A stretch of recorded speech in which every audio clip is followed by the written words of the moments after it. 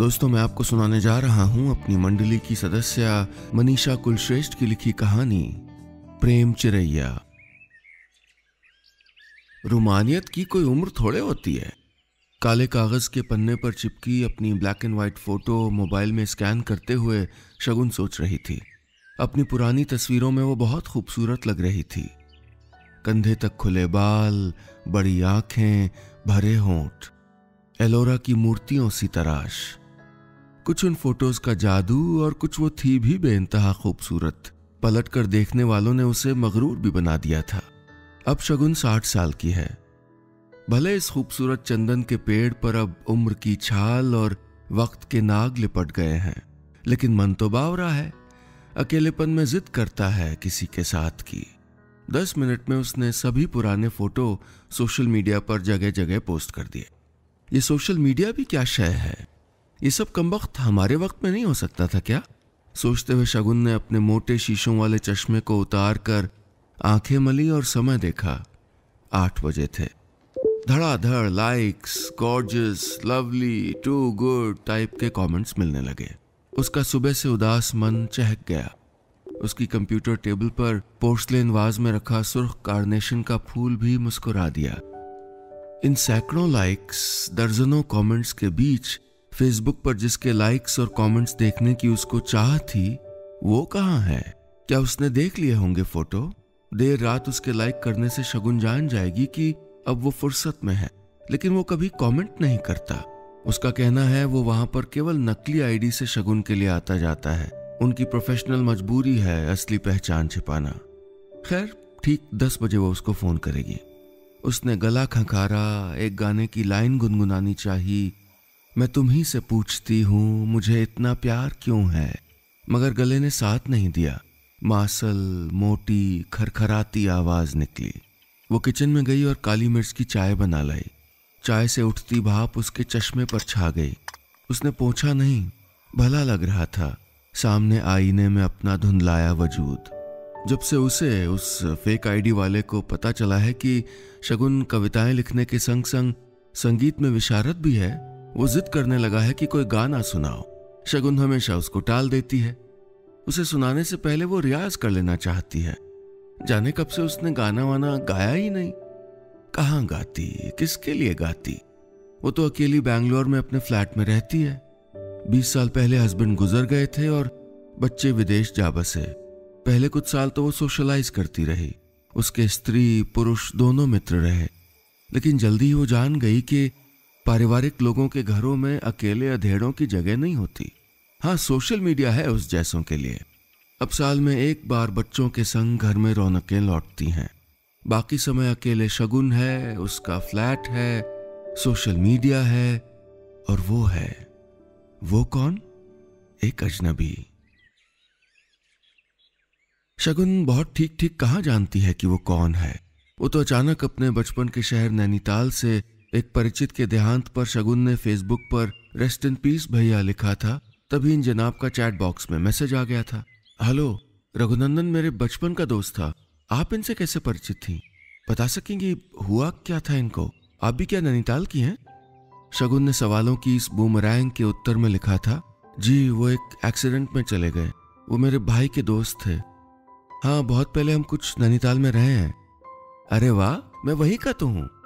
अच्छा मैं तो महज दो साल रही। वो भी तब जब बहुत छोटी थी। मुझे बस पहाड़ और घर के सिवा कुछ याद नहीं। आपका परिचय? अब तो मैं भी वहाँ नहीं रहता। लेकिन उस शहर की गली गली याद है। मैं बीएसएफ में डीआईजी हूँ और आजकल कश्मीर वैली में पोस्टेड हूँ। मेरा परिवार दिल्ली में रहता है। कभी रघुनंदन की बहन सुनंदा मिले तो कहिएगा कि नीरज सिंह ने शोक संदेश दिया है। आप सुनंदा को जानते हैं? वो तो अमेरिका में है। अब तो मेरा भी उससे कोई कांटेक्ट नहीं है। अच्छा उसने कहा। चलिए, मिलके अच्छा लगा।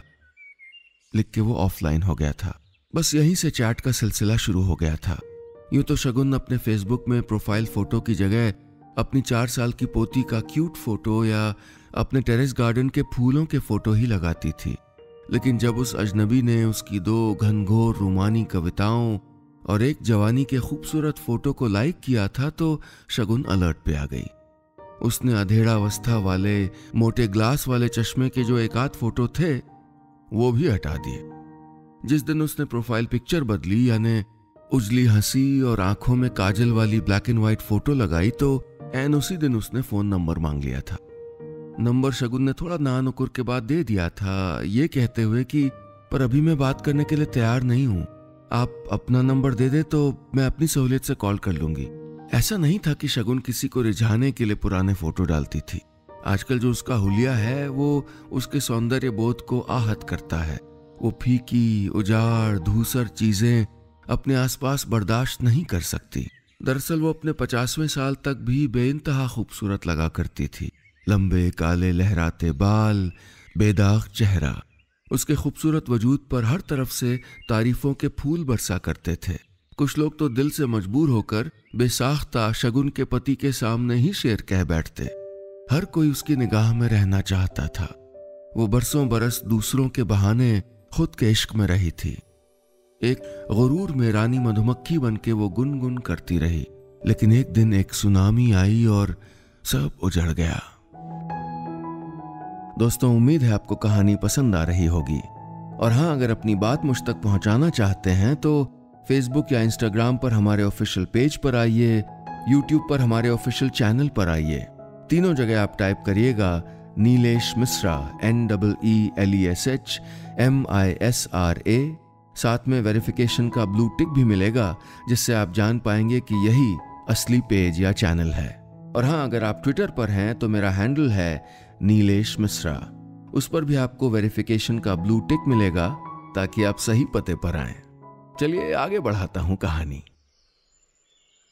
शगुन के पति की ज़िंदगी कैंसर के हाथों जाया हुई थी। उसने अपने बच्चों को अपने पैरों पर खड़ा किया, उनकी शादियाँ की और आखिर में एक फ्लैट में अकेली रह गई। अब तो इन बातों को भी हुए सालों गुजर गए। उसे अपनी तन्हाई की आदत है। शगुन अपनी सोच में मगन अपने चेहरे पर मॉइस्चराइजर मल ही रही थी कि फ़ोन की स्क्रीन पर मैसेज उभरा। शगुन, कमरे में मानो लोबान की महक फैल गई। उसका खालीपन महकने लगा।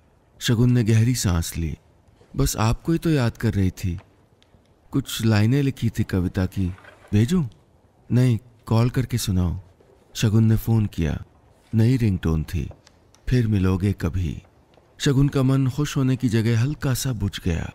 लेकिन जब उधर से एक भारी आवाज़ प्यार का लम्स लिए लाई, हेलो, कैसी हैं आप? आप कहें, लगता है पूरे वीक बिज़ी रहे? शगुन ने आवाज़ में मिठास घोल कर कहा हाँ यहाँ तो पिछले दिनों स्नोफॉल के कारण सिग्नल गुम थे और स्नोफॉल के दिनों में घुसपैठिए भी एक्टिव रहते हैं। चलिए अब आज फुर्सत है ना? सुनाइए ना कविता। शगुन के मन में मोह उमड़ आया उस बंदे के लिए। परिवार से दूर, बर्फीले अकेलेपन में ठिठुरता, जाने कैसा प्यार का अलाव खोजता है। वो भी तो ऐसा कुछ चाहती है जिससे पिघल सके उसके भीतर की बर्फ़। गौर से सुनिए। जी, शगुन के पास कविता का नया मुहावरा कहाँ था? वो तो महादेवी वर्मा के छायावादी वक्त में जा रुकी थी, लेकिन वो जो सुना रही थी वो डीआईजी के मन के हिरन को प्यार और चाहतों के जंगल में भटकाने में सक्षम था। भूल गई थी जिस शब्द को आज उसे फिर गढ़ती हूँ। प्रेम, प्रीत, अनुराग, नेह से परे कोई नव परिभाषा रचती हूँ। शरद की इन उजली रातों में तुम्हें सोचकर शेफालिका सी झड़ती हूँ। शगुन कविता पढ़कर चुप हो गई। उधर से उसने लंबी गहरी आह भरी। शगुन ने धड़कते दिल से पूछा, क्या हुआ? कुछ नहीं, फराज का एक शेर याद आ गया। नीरज कहने को तो कह गए, उधर से तुरंत आवाज़ आई। कौन सा? गुफ्तगु अच्छी लगी, जौके नज़र अच्छा लगा। मुद्दतों बाद कोई हम सफ़र अच्छा लगा। नीरज के हाथ में गर्म कॉफ़ी का मग था। ऊनी पायजामे और वुलन हाउस कोट में सर पर कंटोपा लगाए सोफे पर बैठे थे। बुखारी में आग जल रही थी। हल्की हल्की रुई के फाहों से गिरती बर्फ़ में भी पेट्रोलिंग करते गश्ती कुत्ते रह रह कर भौंक रहे थे। आप शायरी में भी दखल रखते हैं? शगुन उधर खिलखिलाई और इधर नीरज अधीर होकर बोले, क्या हम वीडियो कॉल नहीं कर सकते? शगुन ने हड़बड़ आके फ़ोन काट दिया। फ़ोन गुस्ताख था, फिर बजा। शगुन ने उठा लिया। सॉरी, वो अपने आप से कट गया था। नीरज ने कहा क्या नहीं नहीं वीडियो कॉल नहीं कर सकती? मेरी भतीजी मेरे पास रहती है। घबरा कर शगुन बोली, तुमने तो कहा था तुम एकदम तन्हा हो। नीरज सिंह ने इश्क में और भी कच्ची हो गई याददाश्त पर ज़ोर डालते हुए कहा, यही सोचकर छोटे भाई ने उसको मेरे पास भेज दिया। कहकर शगुन हाफते हुए खाली पड़े घर को ताकने लगी। शगुन अपने मन में जानती थी कि वो बता चुका है कि उसके रिटायर होने में तीन साल बाकी हैं और शगुन को साठ पार किए भी तीन साल बीत गए। वीडियो कॉल यानी रसभंग। ये जो डीआईजी साहब है ना, ये शगुन के काले सफ़ेद फोटोओं के जादुओं के गिरफ्त में है। खबरदार, तिलस्म न टूटने पाए। ये आनंद राग का आलाप बीच में क्यों टूटे? शगुन ने सोचा। अच्छा रहने दो, जहमत मत उठाओ। नीरज सिंह के सामने लैपटॉप पर फेसबुक में शगुन का काला सफ़ेद फ़ोटो खुला था। जानती हो शगुन, तुम्हारी हँसी ना, बंबई का बाबू की सुचित्रा सेन जैसी है। कैसी बातें करते हैं। अब तो उम्र हुई। शगुन लजा गई। ऐसी भी क्या उम्र? तुम सुनंदा की सहेली हो तो पचास छुआ होगा। नीरज ने अंदाज लगाते हुए कहा, शगुन, हूँ हाँ आ, करके रह गई। कैसे कहती मरहूम रघुनंदन उसके सात साल छोटे भाई का मित्र था। सुनंदा और भी छोटी। ऊपर से एक और तुरुप का पत्ता आ गिरा। यू भी पचास तो बुढ़ापे की टीन है, जवाब में शगुन खिलखिला दी। आप भी बड़े बेटी हैं।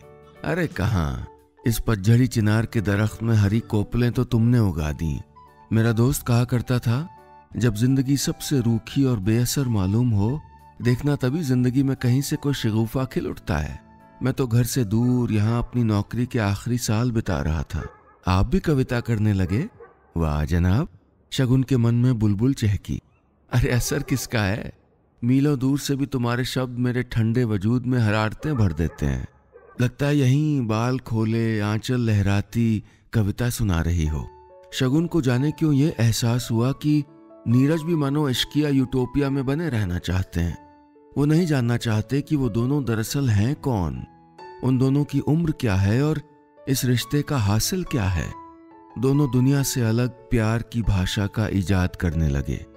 व्हाट्सएप पर दिन भर गुड मॉर्निंग और गुड नाइट के बीच शगुन की कविताएँ, नीरज के शेर black and white photo Shagun के गुनगुनाए फिल्मी गीत। लज्जतों भरे दिन कटने लगे। मन में कब से आग के इंतज़ार में पड़ी मोहब्बत की लकड़ियाँ तड़तड़ा के जल उठी। लेकिन मोहब्बत ने कब सीखा एक लीक पर चलना? लीक पर ही चली तो मोहब्बत क्या? मोहब्बत की दास्तान क्या? संडे का दिन था। डीआईजी नीरज मेस के लॉन में बैठे थे। वादी में बड़े दिन बाद धूप निकली थी। उन्होंने जीन्स पर पीला पुलोवर पहना था। तपे तपे तांबई गालों पर चमक थी। सामने रखे जूस के पारदर्शी ग्लास में वो किसी का अक्स देख रहे थे और मुस्कुरा रहे थे। तभी उनका एक कलीग और करीबी दोस्त वहाँ आ गया। क्या बात है नीरज? यूँ सच धज के अकेले में किसके लिए मुस्कुरा रहे थे भाई? संभलना यार, किसी हनी ट्रैप में तो नहीं फंस रहे। कम ऑन नीरज ने कंधे उचका कर कहा, तुम्हें पहले ऐसे नहीं देखा बे? यू कॉट मी यार. Yes I am in a long distance relationship Neeraj का चेहरा खुशी से छलक गया था। ग्रेट यानी मिलने मिलने का नो झमेला और रोमांस का पूरा मज़ा, है? बढ़िया है टाइम पास करो। ये टाइम पास नहीं है, प्यारे। अगर वो कहेगी तो मिल भी लेंगे। हमारे पहाड़ की साइड की है। ये देख फ़ोटो दोस्त के आने से पहले नीरज सिंह फ़ोटो ही देख रहे थे। तुरंत सामने कर दिया। फ़ोटो ब्लैक एंड व्हाइट था। उसमें कोई कमसिन सुंदरी मुस्कुरा रही थी। हाँ मगर ये तो ब्लैक एंड व्हाइट फ़ोटो है। सवाल यह है कि ये मोहतरमा आज कैसी लगती होंगी? दोस्त ने उसे कुरेदा, मगर नीरज तो बादलों पर तैर रहा था। बोला, पता नहीं, मैं तो इसको ऐसे ही देखता हूँ। वैसे करती क्या है ये? दोस्त ने फिर से फ़ोटो पर गौर किया। यार, कविताएँ लिखती हैं। पहले कॉलेज में लेक्चरर थी। नीरज ने कॉफ़ी का सिप लेते हुए कहा, मारे गए गुलफाम।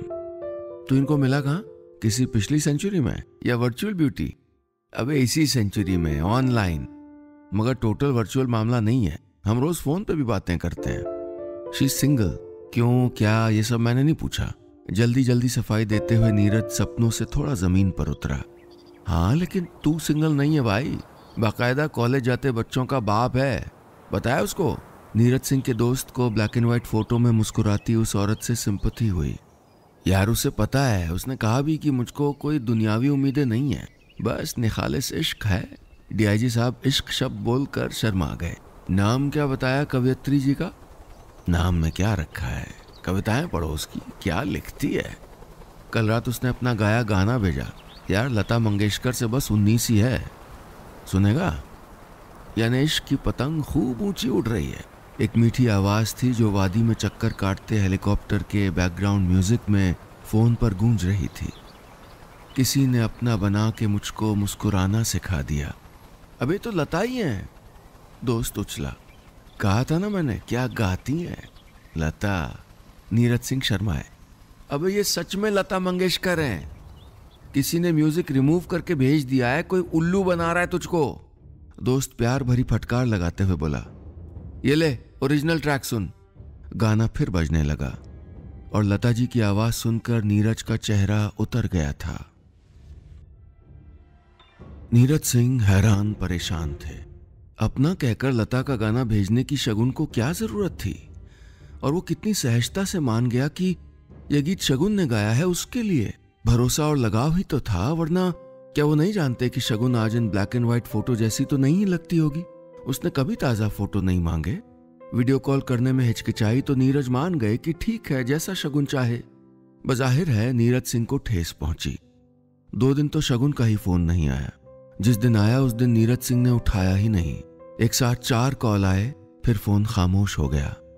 नीरज सिंह अनमने से थे, खाली मन जैसे कोई गुफा थी जिसमें मानो वो तेंदुए की तरह अपना घाव चाट रहे हों। टीवी तक चलाने का मन नहीं हुआ। खामोश फ़ोन पर संदेश चमका। नाराज़ हो? दो दिन से हॉस्पिटलाइज थी। आज घर लौटी। संदेश के संग वही सुचित्रा सिंह की सी मुस्कान वाला सजीला फ़ोटो। मन को किसी ने मानो मुट्ठी में भींच लिया। उन्होंने फ़ोन मिला दिया। हेलो? एक कराह भरी आवाज़ गूंजी। शगुन, क्या हुआ? वो ग्लानी में भरकर बोले। बस हल्का सा चेस्ट पेन था। मैंने बेटे को क्या बोला कि उसने कनाडा से ही यहाँ हॉस्पिटल में फ़ोन करके एंबुलेंस, डॉक्टर सब भिजवा दिए। हॉस्पिटल क्या था? Five star hotel. मगर निकला कुछ नहीं, बस ज़रा सा बीपी। मैं तो जिद करके लौट आई घर। बिल का मीटर ऐसे दौड़ रहा था। तुम बिल की चिंता क्यों कर रही थी? नीरज कंसर्न के साथ बोला। अरे वो कौन सा मुझको देना था? बेटे ने दिया। अब मैं ठीक हूँ। वो हंसना चाह रही थी, मगर हाँफ जाती थी। नीरज का मन इस बार एक अलग लय में धड़का। मैं अगले वीकेंड दिल्ली आ रहा था। कहो तो वहाँ से बैंगलोर आ जाऊँ? एक बार तो मिले। नीरज ने एक सांस में कह दिया। उस तरफ़ कुछ देर खामोशी रही, फिर एक सधी हुई आवाज़ गूंजी। नीरज, क्या मिलना ज़रूरी है? क्या हमारे तुम्हारे बीच खिला रिश्ता ज़्यादा ज़रूरी नहीं? जो हमको इस उजाड़ उम्र में महकाए रखता है, मिलकर हो सकता है कि ये वैसा ना रहे।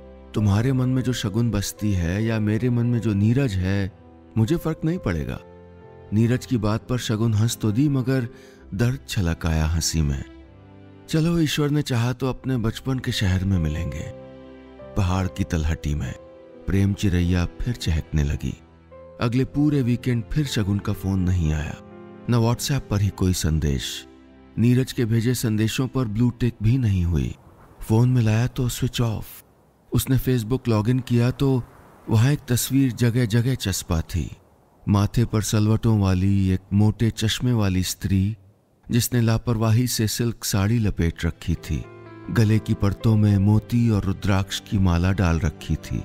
उस तस्वीर के नीचे शोक संदेश थे और लिखा था, शगुन भटनागर, जन्म 12 मार्च 1956 मृत्यु 22 अप्रैल 2018 प्रेम चिरैया उड़ चुकी थी। बस इतनी सी थी ये कहानी। और हमारे इस YouTube चैनल को सब्सक्राइब ज़रूर करिएगा। सब्सक्राइब का बटन दबाइए और एक घंटी का जो निशान दिख रहा है ना, उस पर ज़रूर क्लिक करिए, ताकि जब भी मैं नई कहानी सुनाऊं, आप तक ईमेल में तुरंत पहुँच जाए।